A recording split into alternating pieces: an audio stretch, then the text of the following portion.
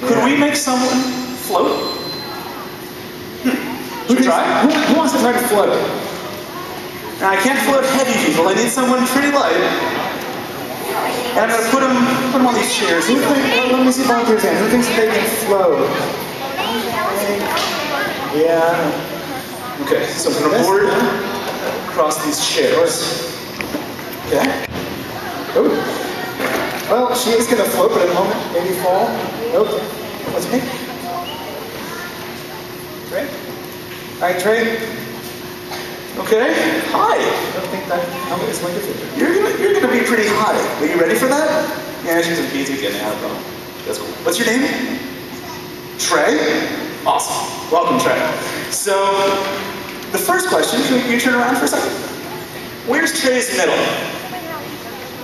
Right around Trey's belly button. That's right about here, right? Okay, so remember where Trey's belly button middle is. We need to make sure that Trey stays over, Trey's middle, we really don't care about the rest of her, but we need to make sure that Trey's middle stays over whatever's holding Trey up. So we put some chairs here, and we put a board across the chairs. Can we put you up on these board, up on this board? Okay. Will your middle still be over what's holding you up? So if, if, your, if your middle stays over what's holding her up, we're good, right? Okay, so you ready? Okay, come on over here. Okay. All right. So how about you want to lift? Ready? Okay, here we go. All right. Okay. Okay. Well, makes sense. We want you to turn this way, so we can keep your middle over what's holding you up. Okay. Awesome. Okay. So now, I need to lay. Yes. Okay. You know what? Let's, let's move you over a little bit more. There you go. Okay. So and lay down. You're gonna lay back. Oh, okay. So we're gonna move you forward a little bit more. Ready? There you go. Okay. Comfortable on the board?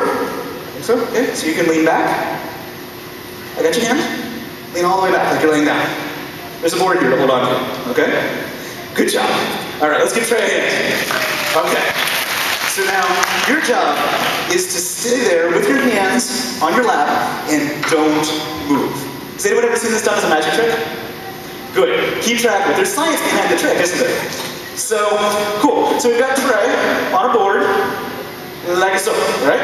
And since we're Okay. know, doing the magic trick, So now maybe the magician would say something like, We're going to put Trey into a trance and send him to sleep. Move. Don't move. That's really what they wanted us to do, was don't move. Because we want to make sure that, where's Trey's metal? So is Trey's middle over the stuff that's holding Trey up? Yep, looks like it. Okay, so Trey's middle is over what's holding Trey up. Wait a second. Is Trey's middle over this chair? Is Trey's middle over to this chair? Not so much. Well, if Trey's middle's not over this chair, do we even need this chair?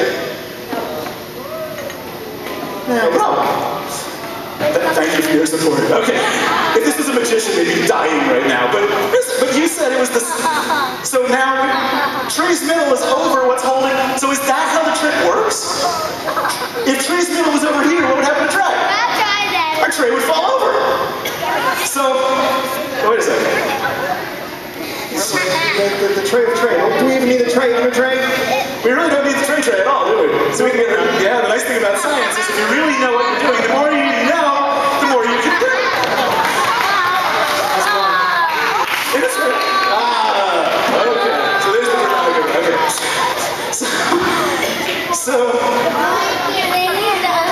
let's support Trey. I think. Well, they've already been supporting us, but let's put them some. Let's let's put let's put the tray train back under the tray. Yeah. All right. Okay.